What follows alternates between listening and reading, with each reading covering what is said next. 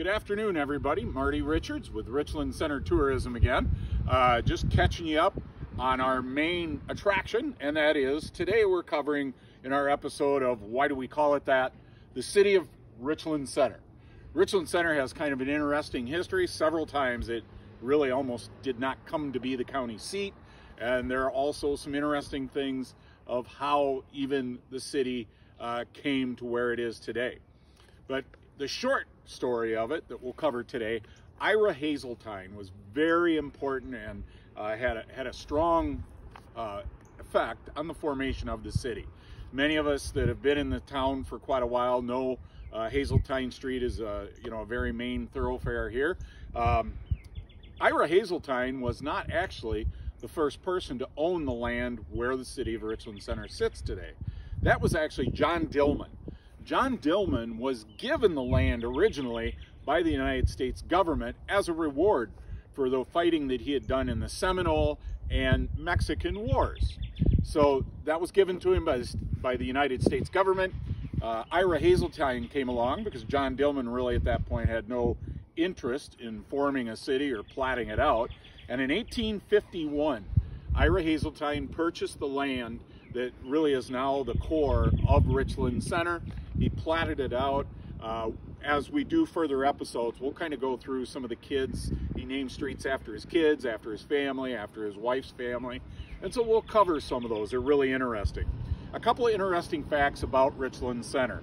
So there are 19 states who have cities named Richland. And I've even been to a couple of them. One out in the Tri-Cities area of Washington State, which is not very far from where our daughter lives, but Richland, Washington.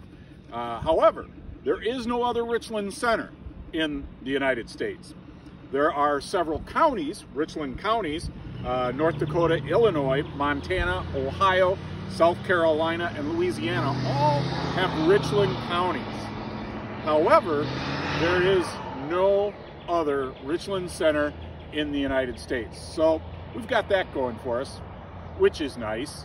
Um, so how did Richland Center not uh, end up the way many towns did, and that is carrying the name of the person who really settled the city?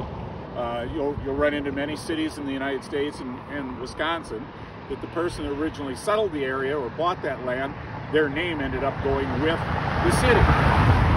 Well, in Richland Center, what happened originally, uh, at the time that Ira Haseltine was kind of buying the land and setting the plats out, there already was a county government starting a formation of one at what was called Richland City, which is now uh, gone. It has disappeared as a ghost town.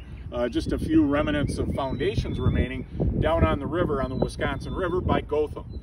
But what ended up happening when Ira Haseltine came, formed the city, got everything going uh, for the city government, uh, he was kind of debating the name of the town, what should he call it, and really geographically, Richland Center is truly in the center of the county. Uh, Ira Haseltine went with Richland Center, and there we are. Uh, a little bit of a head head nod to uh, my friend Lon Arbogast, former uh, tourism director here at Richland Center. As Lon, he loved to say, it's in the center of it all, and that's very true. So that's uh, really a good explanation of why it's Richland Center, not Haseltineville or Haseltineburg.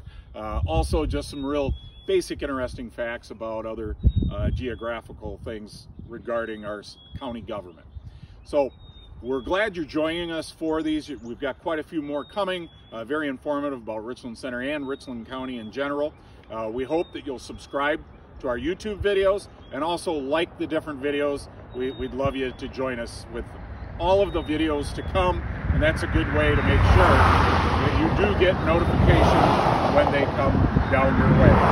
So, from Richland Center Tourism, uh, your 2020 choice destination, as determined by Discover Wisconsin.